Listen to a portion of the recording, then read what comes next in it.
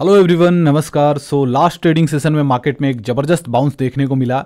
इस वीडियो में हम देखेंगे कि कल के ट्रेडिंग सेशन में मार्केट कैसा रिएक्ट कर सकता है। बहुत ज़बरदस्त डेटा है और हमारे पास कुछ रिजल्ट्स हैं। उसके बेसिस पे खासकर बैंक निफ्टी पे नज़र रहेगी कि क्या इम्पैक्ट रहने वाला है। सो चलिए एक एक करके इन सारे एनालिसिस को शुरू करते हैं। प्लस एक इंडस्ट्री के ऊपर मैं फोकस करने वाला हूँ और उससे रिलेटेड हम दो स्टॉक को डिस्कस करेंगे, जो पिक होगी अगले दो तीन महीने के लिए, दिवाली तक के लिए हम उसको देखेंगे। क्योंकि वहाँ पर एक सेंटिमेंटल बाइंग आती है एंड उसके बेसिस पे स्टॉक्स भी बहुत अच्छा खासा रिएक्शन देते हैं। ये देखते हैं इस एनालिसिस को। फ़र्स्ट ऑफ़ ऑल अगर मैं बात करूँ लास्ट ट्रेडिंग सेशन में 26 तारीख फ्राइडे को, यहाँ पे इंस्टीट्यूशंस की एक्टिविटी क्या रही? तो ओवरऑल आप यहाँ पे चेक कर सकते हैं। दोनों इंस्टीट्यूशंस ने अच्छी खासी बाइंग किया है। एफआई की बात करें तो यहाँ पे पच्चीस करोड़ से ज़्यादा की बाइंग देखने को मिल रही है कैश में। वहीं डी ने भी सत्ताईस करोड़ के आसपास की एक अच्छी बाइंग है। और साथ में अगर एफ़ को अगर आप देखोगे तो यहाँ पे स्टॉक्स फ्यूचर्स में भी इन्होंने लगभग सात हज़ार करोड़ के आसपास की बाइंग की है। सो नो डाउट एफ़ की जो बाइंग है लास्ट ट्रेडिंग सेशन में लगभग साढ़े नौ हज़ार करोड़ के आसपास है, जो कि काफ़ी अच्छी बाइंग यहाँ पे देखने को मिल रही है। तो यहाँ पे सेंटिमेंट पॉइंट ऑफ़ व्यू से शॉर्ट टर्म में अगर आप देखोगे तो अभी दोनों प्लेयर्स मार्केट को लेकर काफ़ी कॉन्फिडेंट दिख रहे हैं, काफ़ी बुलिस दिख रहे हैं। वहीं मैं बात करूँ ग्लोबल डेटा के बारे में तो यहाँ पे ग्लोबल मार्केट में अगर आप देखोगे सो डाउजोन्स और नेस्डेक को तो डाउजोन्स में एक ज़बरदस्त रिकवरी आई है जो कि 1.64 परसेंट के आसपास, वहीं एस एम भी अच्छा खासा चला है नेस्डेक भी चला है। So no doubt global support भी है इंस्टीट्यूशंस की बाइंग भी है तो डेफिनेटली एक अच्छी शुरुआत की हम उम्मीद कर सकते हैं। लास्ट टाइम जैसे आपने देखा कि सभी सेगमेंट में एक अच्छी खासी तेज़ी देखने को मिली थी। मेटल फिर से एक अच्छा खासा मोमेंटम दिखा सकता है बिकॉज़ मेटल अपना जो सपोर्ट एरिया है, वहाँ से बाउंस ले रहा है। आईटी से बहुत ज़्यादा उम्मीदें हैं आईटी बहुत अच्छा खासा कर चुका है और आगे आने वाले टाइम में आईटी और भी अच्छा खासा परफॉर्म कर सकता है। लास्ट वीडियो में भी हमने इसके बारे में डिटेल में डिस्कस किया था। बाकी फार्मा सही है ऑटो भी सही है और मेन जो नज़र रहेगी अभी के ट्रेडिंग सेशन में अगर आप देखोगे तो वो रहेगी बैंक निफ्टी पे। अब बैंक निफ्टी पे क्यों? क्योंकि अगर आप यहाँ पे देखोगे बैंक निफ्टी पे तो बैंक निफ्टी में आए हैं पीएनबी के क्वार्टर वन के रिज़ल्ट सो अगर आप देखोगे पीएनबी के रिज़ल्ट काफ़ी इंपॉर्टेंट रोल प्ले करने वाले हैं, क्योंकि कहीं ना कहीं ये जो बाकी के पी बैंक हैं, उसको ड्रैक करने की कोशिश कर सकते हैं। सो पीएनबी के रिज़ल्ट ओवरऑल अगर बात की जाए तो काफ़ी अच्छे हैं यहाँ पर सो देखते हैं कि मार्केट इसको कैसे रिएक्ट करता है, क्योंकि अगर पीएनबी अच्छा खासा मोमेंटम देगा तो साथ में एसबीआई भी सपोर्ट करेगा। और बात करें दूसरे बड़े रिज़ल्ट की तो यहाँ पर आई बैंक का रिज़ल्ट आया है तो जितने भी प्राइवेट बैंक्स के रिजल्ट्स आए हैं ना, उसके कंपैरिजन में आईसीआईसी बैंक का रिज़ल्ट काफ़ी अच्छा है।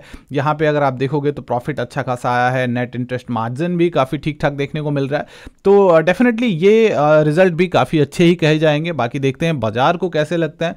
तो अगर आप देखो कि, सपोज़ करो कि पी और आई बैंक, हालाँकि इंडनसन बैंक के भी रिज़ल्ट आए हैं, बहुत ज़्यादा कुछ खास नहीं है, लेकिन इससे बहुत ज़्यादा कुछ उम्मीद भी नहीं थी। तो अगर ये दोनों बैंक एक अच्छा खासा गैप अप ओपन करते हैं एंड देन यहाँ पे इंस्टीट्यूशंस का सपोर्ट है प्लस ग्लोबल सपोर्ट है तो डेफिनेटली यहाँ पे जो निफ्टी बैंक है, उसमें एक अपसाइड में मोमेंटम देखने को मिलेगा। अब बात करें यहाँ पे कुछ कॉमोडिटी का तो अगर आप ये देखोगे तो ये गोल्ड का चार्ट है डेली टाइम फ्रेम में। लास्ट ट्रेडिंग सेशन में लगभग इसी ट्रेंड लाइन से सपोर्ट लेता हुआ दिख रहा है। अब मैं बात कर रहा था जिस इंडस्ट्री के बारे में, वो है गोल्ड इंडस्ट्री आपको पता है कि इस बजट में जो यहाँ कस्टम ड्यूटी है, ये घटाई गई है, जो पहले कस्टम ड्यूटी पंद्रह तक की लगती थी गोल्ड पे, उसको अब रिड्यूस करके अप टू सिक्स परसेंट तक लाया गया है। तो डेफिनेटली इससे जिस हिसाब से हमारे यहाँ इंडिया में आपको पता है कि हम दुनिया के दूसरे सबसे बड़े कंज्यूमर हैं तो जिस हिसाब से डिमांड रहती है तो डेफिनेटली दिवाली वगैरह के टाइम में कंजम्पशन और ज़्यादा बढ़ सकता है। अगर गोल्ड के जो प्राइजेज हैं, थोड़े नीचे और जाते हैं। अब इस, यहाँ पे अगर आप देखोगे प्राइजेज डाउन हो रहे हैं तो डिमांड में भी थोड़ी सी और बढ़ सकती है। तो उसके लिए हम चार्ट देखेंगे और कुछ अच्छे क्वालिटी स्टॉक्स हैं उसको भी हम देखने की कोशिश करेंगे। फ़िलहाल अगर मैं बात करूँ यहाँ पे निफ्टी बैंक का तो एक बार अगर आप देखोगे निफ्टी बैंक का जो चार्ट है, क्योंकि निफ्टी फिफ्टी डेफिनेटली काफ़ी अच्छा खासा मोमेंटम है तो इसको हमने टेलीग्राम में भी शेयर किया था तो अगर आप टेलीग्राम में नहीं है तो वीडियो के डिस्क्रिप्शन में लिंक है, वहाँ से आप आ सकते हो। तो यहाँ पर अगर आप देखोगे तो लास्ट ट्रेडिंग सेशन में हमने शेयर किया था कि एक छोटा सा हडल है, इसको अगर क्रॉस करता तो डेफिनेटली एक तगड़ा बाउंस बैक देखने को मिल जाएगा, और वहाँ से लगभग 300 पॉइंट का एक अच्छा खासा बाउंस बैक रहा। तो डेली टाइम फ्रेम में है ये निफ्टी बैंक। तो अगर आप देखोगे तो ये बिल्कुल ही मेक एंड ब्रेक लेवल पे है इस नेकलाइन के। तो कल के ट्रेडिंग सेशन में काफ़ी इंपॉर्टेंट रहेगा फिफ्टी टू का जो ये लेवल है अगर इसके ऊपर निकाल के 15-20 मिनट टिकता है तो डेफिनेटली फिर ये ऊपर जाने की कोशिश करेगा। इसके बाद का जो हडल रहेगा वो 52,600 700 के आसपास एंड देन इसके बाद फिर आ, अपना जो लाइफ हाई है उधर कहीं जाने की कोशिश करेगा। तो कल का जो मेन फोकस रहना चाहिए आपको वो रहना चाहिए निफ्टी बैंक पे क्योंकि निफ्टी फिफ्टी ऑलरेडी अच्छा खासा परफॉर्म कर चुका है। तो ये सारे जो इंस्टीट्यूशंस हैं इनकी बाइंग है प्लस साथ में ये इंडेक्स हैं इसमें अगर ज़बरदस्त मोमेंटम जैसे ऑटो है, वो भी अच्छा दिख रहा है निफ्टी आईटी अच्छा दिख रहा है मेटल अच्छा दिख रहा है अभी के हिसाब से। एंड बैंकिंग भी चलता है तो डेफिनेटली निफ्टी फिफ्टी में वापस एक नया लाइफ टाइम हाई आपको देखने को मिल जाएगा। तो कल के दिन फोकस रखना आप थोड़ा सा इन बैंक्स के ऊपर। अब बात करें गोल्ड इंडस्ट्री से रिलेटेड तो जैसा मैंने आपको बताया कि ये जो कस्टम ड्यूटी रिड्यूस हुई है, उसके बेसिस पे डिमांड में एक अच्छा खासा हम आने वाले दिनों में मोमेंटम देख सकते हैं। और इसके लिए दो जो मार्केट लीडर स्टॉक है, उसको हम देखेंगे, जिसके ऊपर आपका खासा नज़र रह सकता है, अगर आप एक आध क्वार्टर के लिए शॉर्ट टर्म इन्वेस्टमेंट को देख रहे हो। लेकिन उससे पहले जैसे कि आपको मैंने बताया था कि कोर्स पे एक बहुत ही ज़बरदस्त ऑफ़र आपको देखने को मिल जाएगा। सो जो लोग चैनल पर नए हैं तो अगर आप भी मार्केट को सीखना समझना चाहते हो इन डिटेल कंप्लीट मार्केट को सीखना चाहते हो तो गूगल पर जाके अब the Swing Guru Academy search करोगे तो हमारी वेबसाइट है the Swing Guru dot com उस पर जाके एक्सप्लोर कोर्सेज पर क्लिक करना है। सो so, आपको मिलेगा एक one of the highest rated course जो कि कंप्लीटली हिंदी में जिसमें आप सीख सकते हो zero to advance level stock market के बारे में। बिल्कुल ही बेसिक से हमने स्टार्ट किया है। मतलब अगर आपको स्टॉक मार्केट के बारे में कुछ नहीं पता है वहाँ से स्टार्टेड है। और एक हाई लेवल तक हम लेकर गए हैं जिसमें बिज़नेस बैलेंस शीट एनालिसिस कैसे स्टॉक्स को फाइंड आउट किया जाता है अच्छे स्टॉक्स को कैसे देखते हो मल्टी बैगर्स कैसे फाइंड आउट किया जाता है सारी टर्मिनोलॉजीज हैं बैलेंस शीट कैसे रिज़ल्ट को एनालाइज किया जाता है वो सब कुछ सीखोगे। और इसके लिए कोई भी अकाउंटेंसी की नॉलेज की बिल्कुल भी ज़रूरत नहीं है। इसके बाद सबसे इंपॉर्टेंट सेक्शन जिसकी वजह से हमारा कोर्स सबसे ज़्यादा पॉपुलर हुआ है, वो है टेक्निकल एनालिसिस इसको हमने बहुत ही ज़्यादा यहाँ पे ईजिएस्ट वे में समझाया है। तो आप यहाँ पे इन डिटेल सीखोगे कि कैसे प्राइस बिहेवियर क्या है और वो भी उनके एडवांस वर्जन के। ऐसे नहीं जो मार्केट में ईजिली आपको यूट्यूब वगैरह पर अवेलेबल है। तो वो सारी चीज़ें और आपको स्टडी मटेरियल वगैरह मिलता है। सो आप यहाँ पर चेक कर सकते हो, बहुत सारे रेटिंग एंड रिव्यूज़ हैं जिन लोगों ने इस कोर्स को ज्वाइन किया है, क्या कहते हैं इस कोर्स के बारे में।